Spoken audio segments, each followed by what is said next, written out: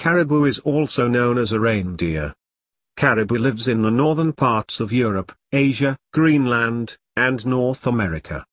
Caribou can be found in coniferous forests characterized by swampy areas, lakes and rivers, such as those found in Alaska, Canada, Scandinavia, and Siberia.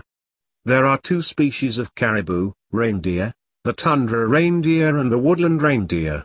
Tundra reindeer is further divided in six known subspecies, while woodland reindeer has three distinct subspecies.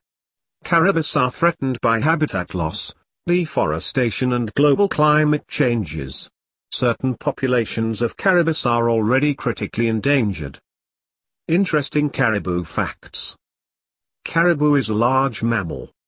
It can reach 240 to 700 pounds in weight and 4 to 5 feet of height at the shoulder. Body of caribou is covered with winter coat which provides insulation at below outer temperatures. Color of the fur depends on the species. It can range from dark to light brown. Caribou is an ungulate, which means that it has hooves. They are concave in shape and adapted to the walking across the deep snow. Caribou is the only member of deer family where both males and females wear antlers. Female has shorter antlers and wear them a bit longer than males. Antlers in females symbolize dominance and they will shed after giving birth to a baby. Males shed their antlers as soon as the mating season is over, after completing fights for females' attention. Antlers play important role in the lifestyle of caribous. Besides protective role, they are used for digging of the snow during the search for food in the winter period.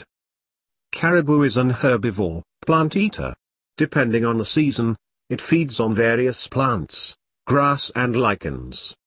Most subspecies of caribou are migratory. They can travel up to 3,000 miles each year in the search for better sources of food. Caribou is very fast animal. It can run 50 miles per hour especially when trying to escape from the predators. Although caribou is a large animal, it has a lot of predators. Main predators of caribou are wolves, bears, lynx, wolverines and golden eagles. Caribou releases special scent when faced with danger. Scent is produced in the gland located in the base of ankles and it informs other caribous about near danger. Mating season of caribou takes place from September to November. Males fight with each other before the most dominant male gets opportunity to mate with females. Winner can mate with 15 to 20 females. Pregnancy in females lasts around seven and a half months. It ends with one baby that is able to stand on its own feet few minutes after birth. Baby is able to run with its mother the following day. Young caribou becomes independent after year and a half. Caribou can survive around 4.5 years in the wild.